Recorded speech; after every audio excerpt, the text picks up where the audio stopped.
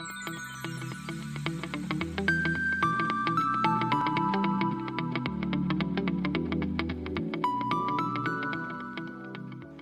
ziua, stimați colegi!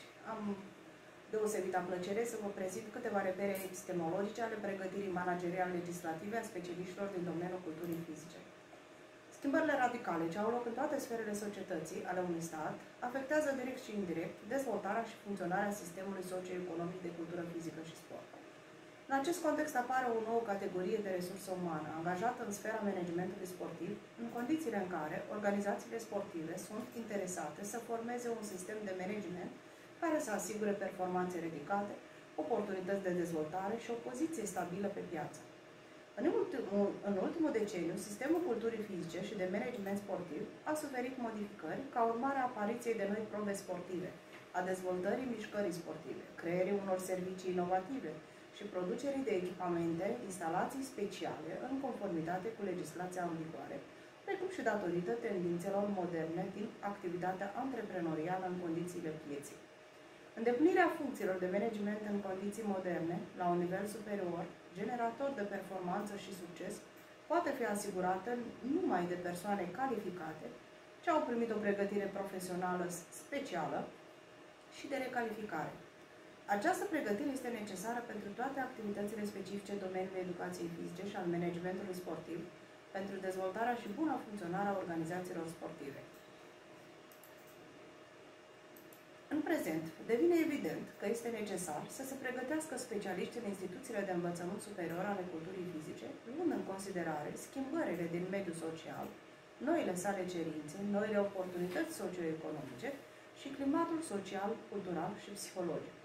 Pentru aceasta este necesar ca sistemul de formare a specialiștilor să fie mai dinamic și mai mobil, capabil să răspundă cererii în schimbarea economiei de piață pentru inteligență și cultură, indisolubil legată de cerința de diferențiere a procesului educațional.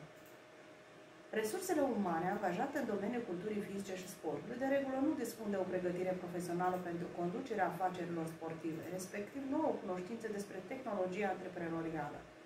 Competența profesională insuficientă a personalului angajat la nivelul entităților sportive, inclusiv a celor manageriale, constituie o problematică ce ar trebui abordată într-un mod prioritar. Instrumentele și modalitățile de soluționare a problemei pot fi identificate prin dezvoltarea și implementarea în practică a măsurilor organizatorice și pedagogice, care pot asigura buna funcționare a activităților specifice culturii fizice naționale, precum și în cadrul organizațiilor sportive de diferite niveluri regionale și locale. Specialiștii din domeniu, de exemplu, managerul sportiv, profesorul modern sau antrenorul, trebuie să dispună nu doar de un nivel necesar de cunoștințe profesionale și abilități în domeniu, ci trebuie să fie capabil să gestioneze oamenii, să ia decizii informate și competente, să implementeze un sistem de recompense și sancțiuni și să prevadă tendința de dezvoltare a industriei, culturii fizice și sportului.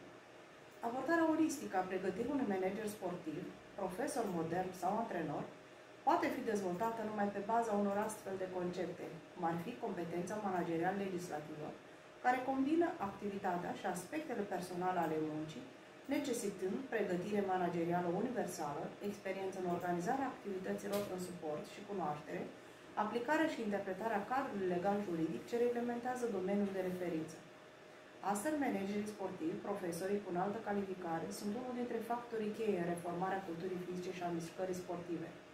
Din păcate, formarea unor astfel de specialiști se desfășoară cu un decalaj, clar față de nevoile practice. Îmbunătățirea acesteia depinde în mare măsură de dezvoltarea de noi cursuri educaționale, tehnologii informaționale moderne și metode de predare inovatoare. Formarea competenței manageriale legislative, punctele de vedere contradictorii ale specialiștilor cu privire la modalitățile eficiente de formare a managerilor sportivi, profesori, antrenori, au constituit principalul motiv pentru previzuirea abordărilor de formare a studenților din instituțiile de învățământ de superior de cultură fizică. Cum?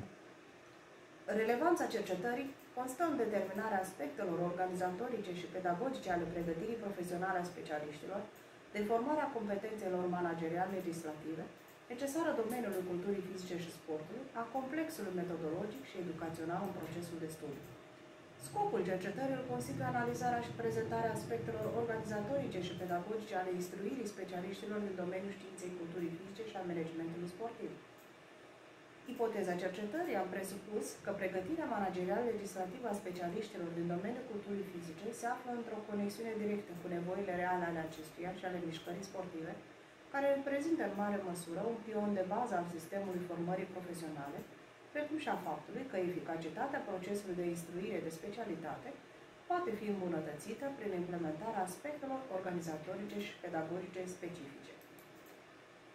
Noutatea științifică a cercetării constă în elaborarea și implementarea concepției de pregătire managerial legislativă a specialiștilor din domeniu, ca factor decisiv în îmbunătățirea calității managementului culturii fizice și al organizațiilor sportive în condițiile socioeconomice moderne ale Republicii Moldova. Concepția de pregătire managerial legislativă a specialiștilor confirmă faptul că se impune o abordare a conținutului său din prisma aspectelor organizatorice și pedagogice, care să asigure pregătirea adecvată a personalului angajat în sistemul de referință. Mai mult, ne-am propus să dezvoltăm condițiile organizatorice și pedagogice care determină succesul procesului de formare a competenței manageriale legislative în sistemul de formare universal a studenților. De asemenea, am stabilit principalele direcții ale procesului de formare a competenței manageriale legislative în contextul revizuirii conținutului procesului educațional în instituțiile de învățământ superior de educație fizică și elaborarea, testarea și validarea experimentală a metodologiei nouă în acest sens.